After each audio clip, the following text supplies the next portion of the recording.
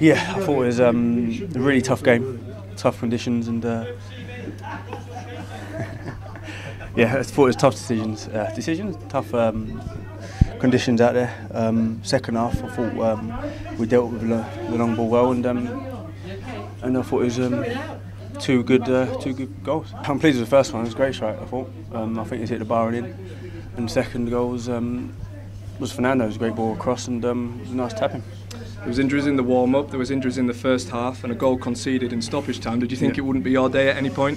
Um, in a way, yeah, but I thought we got a squad to, to do things like we did. Um, we held in, defend well, um, other than the, the goal, and uh, and we kicked on. I thought it was a it was a hard game, but um, tough game. I thought we dealt with it well.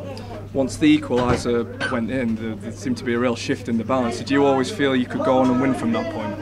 Yeah, I thought um, the, first goal went in. I thought, yeah, we was on top.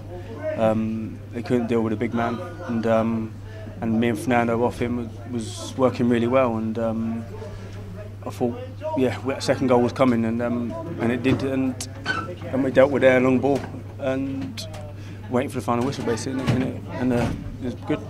In the press room there, Lee Bullens described this game as a, as a six pointer. How significant is it taking points off a side like Birmingham? Yeah, um, it's always a, play, a hard place to come. We had a good result at home against them, um, but they um, they played well in the first half. We was, uh, we was better in the second half, but um, yeah, I think it was always six pointer. Now we're above Ipswich, and now we're in the in the sixth position and looking good.